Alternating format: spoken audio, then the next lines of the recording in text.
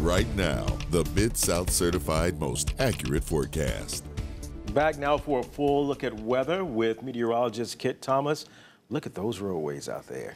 Yeah, and of course, this is the bridge over the Mississippi River right there, I-40. A lot more traffic now because I-55 is still closed. Yeah, they're taking all that weight there from that traffic, but at least it's moving.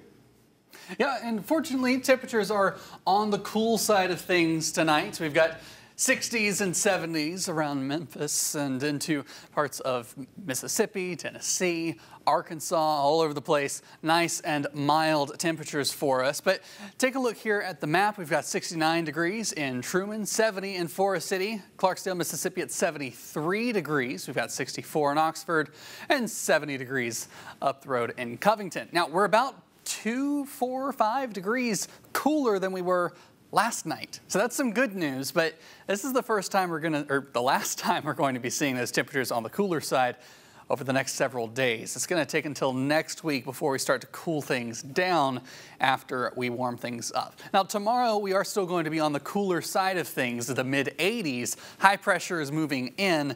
That's going to bring in the heat. The humidity is also going to be streaming out of the Gulf. Heat index over 100 degrees is expected as we head into the weekend. We've got some high level clouds out here, but no rain. They're too high and too dry to really be bringing any precipitation for us. They have seen some showers in parts of Oklahoma and Texas through the day today a little bit of severe weather as well down uh, through the Big Bend area there of Texas. But most of this moisture is, again, very dry moisture and isn't going to be providing any precipitation for us and no relief at all. We keep some of the clouds overnight. Through the day Wednesday, we clear them out. And we'll be very uh, clear as we head overnight into Thursday.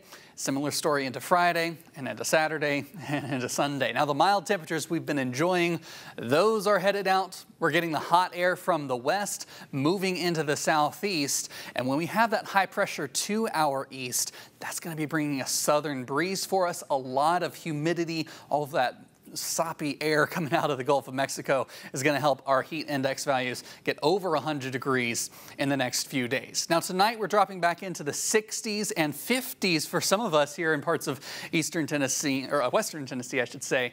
That is going to be a cool night that's going to be about it. Look at these temperatures for tomorrow. We're getting up into the mid 80s here in eastern Arkansas, northern Mississippi, also mid 80s, more mid 80s here. Covington 84, Alamo at 85 degrees. Take a look at your seven day forecast. We get that 86 tomorrow and then 90s all the way through the weekend. We're going to just see that temperature continue to go up and up and up.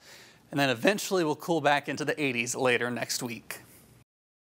We've been enjoying this nice mild air mass the last few days. It's moving back to the northeast, hot air moving in its place as we get into the weekend time frame. Now, the thing is, the heat index is going to be the other factor with this. It's not just the mid 90s that we're seeing. It's also the fact that we're seeing the heat index well over 100 degrees Saturday and Sunday. We haven't seen temperatures like that since our last major heat wave we had back in August. We haven't seen an extended period in the 90s since late September, early October. So it's been quite a while. So you want to remember those heat safety tips. Make sure that you stay safe, stay cool, stay inside, stay hydrated. And you can read more about this on our website, abc24.com slash now.